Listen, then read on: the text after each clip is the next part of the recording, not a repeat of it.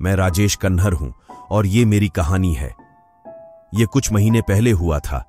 मैं कॉलेज से निकलकर नौकरी ढूंढ रहा था। उस समय मैं अपने माता पिता के साथ एक बड़े शहर में रहता था।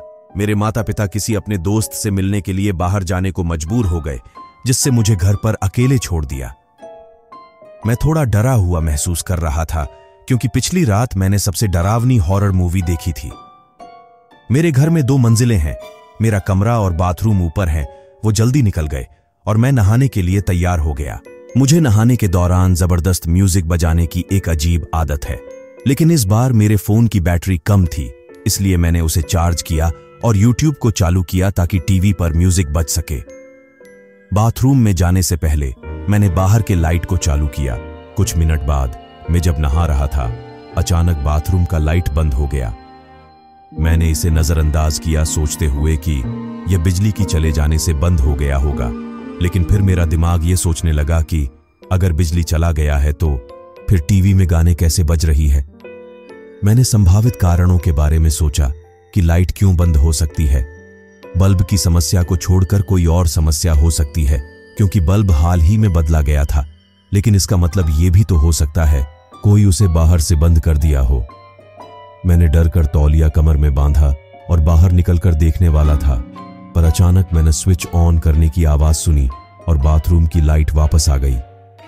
इस समय तक मैं डर से काँप रहा था। मैंने दरवाजे से बाहर देखा और चिल्लाया, माँ, पापा, क्या आप वापस आ गए हैं? लेकिन कोई जवाब नहीं आया। फिर मैंने सुना कि किचन में प्लेट्स टूटने की आवाज़ आ रही है।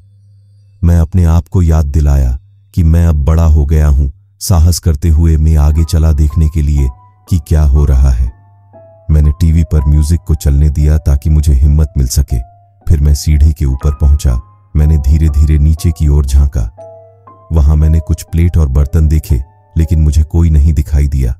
मेरा मन बताने लगा कि यह एक संयोग हो सकता है। मैंने एक मिनट या इससे भी ज़्यादा तक देखा, पर किसी को भी नहीं देखा।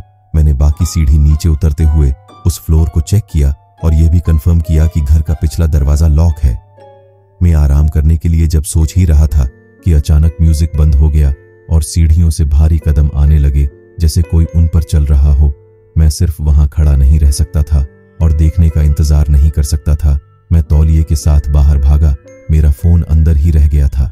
लगभग एक घंटे बाद मेरे माता पिता लौटे और मैंने उन्हें बताया कि क्या हुआ था। लेकिन बेशक वो सोचने लगे कि मैं मज़ाक कर रहा हूँ। जब हम घर में वापस गए तो मैं अलर्ट हो गया कि कहीं से भी हमला हो सकता है, लेकिन कुछ नहीं हुआ। तभी मेरी माँ ने मुझे लापरवाह होने के लिए डांटा। उन्होंने कहा कि मैंने घर के पिछले दरवाजे को खुला ही रख दिया था। आज भी मैं सोचता हूँ कि अगर मैं सीढ़ियों पर चल रहे व्यक्ति का इंतज़ार करता तो क्या होता?